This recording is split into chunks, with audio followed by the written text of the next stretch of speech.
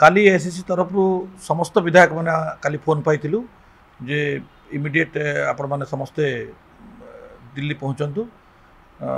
ଯାହା ଜଣାପଡ଼ୁଛି ସମସ୍ତ ବିଧାୟକମାନଙ୍କୁ ଫୋନ୍ ମାଧ୍ୟମରେ ବାର୍ତ୍ତାଳାପ କରିଥିଲେ ଆମର ଏଆଇସିସି ଇନଚାର୍ଜ ଆଉ ନିଶ୍ଚିତ ରୂପରେ ଆପଣମାନେ ଜାଣିଥିବେ ଯେ ଯେଉଁଭଳି ଭାବରେ ଗାନ୍ଧୀ ଫ୍ୟାମିଲିକୁ ଟାର୍ଗେଟ୍ କରିକିରି କଂଗ୍ରେସ ଦଳକୁ ଟାର୍ଗେଟ୍ କରିକିରି ଶ୍ରୀମତୀ ସୋନିଆ ଗାନ୍ଧୀ ରାହୁଲ ଗାନ୍ଧୀଙ୍କୁ ବାରମ୍ବାର ଇଡି ଦ୍ୱାରା ଯେଉଁ ଜେରା କରାଯାଉଛି ଏବଂ जो जो केस रे किसी ना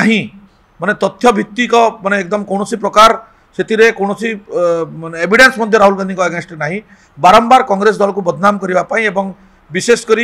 राहुल जी जो लोकप्रियता बढ़ुची ताकु नरेंद्र मोदी डरीकर गोटे पुलिस सहयोग नहींक्री इडर सहयोग नहींक्र जो भाई भाव में कंग्रेस लोकों प्रति कंग्रेस नेता मान प्रति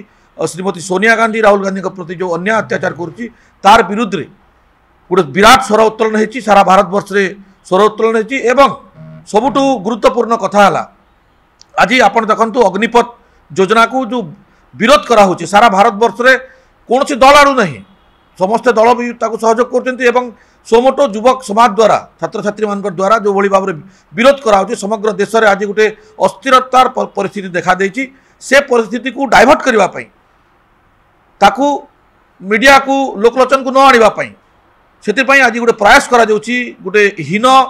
ଚିନ୍ତାଧାରା ନରେନ୍ଦ୍ର ମୋଦି ରଖିକରି ଯେଉଁ ରାହୁଲ ଗାନ୍ଧୀଙ୍କୁ ବାରମ୍ବାର ଜେରା କରିକରି ଓରିଜିନାଲ ନ୍ୟୁଜ୍କୁ ଡାଇଭର୍ଟ କରିବା ପାଇଁ ଭାରତବର୍ଷରୁ ଆଜି ଯେଉଁ ପ୍ରୟାସ କରାହେଉଛି ତାକୁ ଆମେ କଡ଼ା ଭାଷାରେ ନିନ୍ଦା କରୁଛୁ ଆମେ ସମସ୍ତେ ଆଜି ଦିଲ୍ଲୀ ଯିବା ପାଇଁ ପ୍ରସ୍ତୁତ ଅଛୁ ଏବଂ ଯଦି ରାହୁଲ ଗାନ୍ଧୀଙ୍କ ପ୍ରତି ଅନ୍ୟାୟ କରାଯାଏ କଂଗ୍ରେସ ଦଳ ପ୍ରତି ଅନ୍ୟାୟ କରାଯାଏ এটা গণতান্ত্রিক রাষ্ট্র এটা কোণী রাজতন্ত্র রাষ্ট্র নুহে ଯେ ଗୋଟେ ଡିକ୍ଟଟରସିପ୍ ହିସାବରେ ଭାରତବର୍ଷର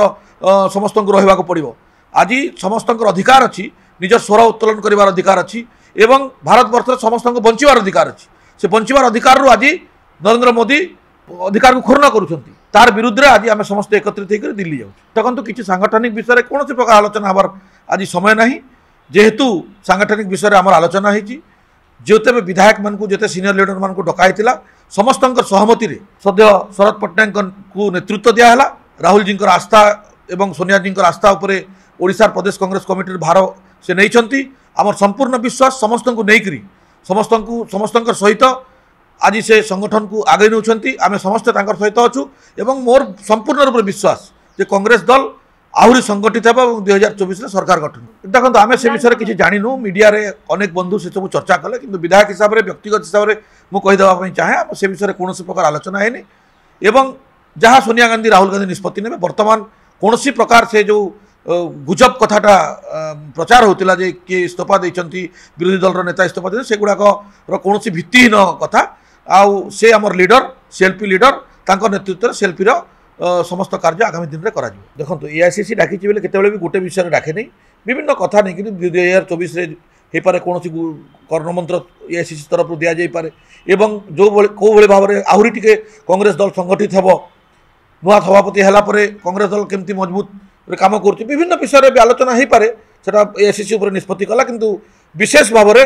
କହିବାକୁ ଗଲେ ଯେ ଆଜି ଯେଉଁଭଳି ଭାବରେ ଗାନ୍ଧୀ ପରିବାର ପ୍ରତି ଅନ୍ୟାୟ ଅତ୍ୟାଚାର ଏବଂ କଂଗ୍ରେସ ଦଳକୁ ଗୋଟେ ଟାର୍ଗେଟ୍ କରାଯାଉଛି ବାରମ୍ବାର ସରକାରୀ କଳ ବଳ ଲଗାଇକରି ତାର ବିରୁଦ୍ଧରେ ସ୍ୱର ଉତ୍ତୋଳନ କରିବା ପାଇଁ ଆଜି ଏଆଇସିସି ତରଫରୁ ଆମକୁ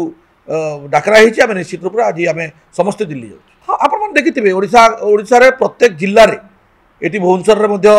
आम धारण में बसलु गवर्णर हाउस घेराव करायला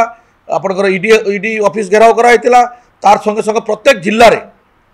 जे सेंट्रल गवर्नमेंटर जो कार्यालय गुडाक अच्छी विरोध करायला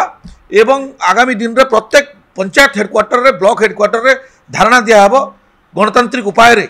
आमर स्वर को उत्तोलन करने किए रखिपारे आम निश्चित रूप से अन्या अत्याचारी सरकार नरेंद्र मोदी एक छत्रवाद सरकार विरुद्ध आम स्वर उत्तोलन करूँ